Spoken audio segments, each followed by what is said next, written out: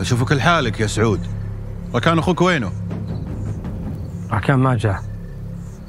يقول خلاص بيبطل هالشغل وما عاد بيكمل عاد بيكمل وش لعب زران هو؟ هذا كلام عاد. شو أسوي له؟ أقول اسمع يا سعود. قل لأخوك ركان إن دخوله ما هو بمثل خروجه. لا يحسب قاعدين نلعب هنا. هذا يوم إنه ما يعرف مداخيلنا ومخارجنا. كان أقول بكيفه لكن الحين هو واحد منا. ولازم يلتزم بشغله. ولا ترى لي تفاهم ثاني معه. وأتمنى توصل له هالكلام. زين أبى أبلغه. في شغل اليوم أسويه ولا شلون؟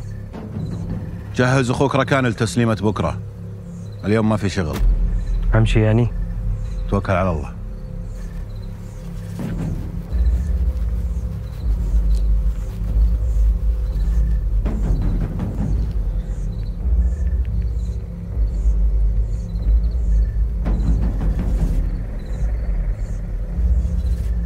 هلا بك يا أخي أشغلونا هالاثنين ذولا. أشغلونا أكثر من إنهم يريحونا. كل يوم واحد طلع لي بسالفة. هذا يروح وهذا يجي وهذا ما أدري وش سالفته. أنا لو إني ما طعت شورك وخليتهم يقصون وكان أرحم. كان افتكينا منهم من غثاه لكن وين بيروحون؟ وين بيروحون؟ دواهم عندي. أنا أنهيهم كلهم.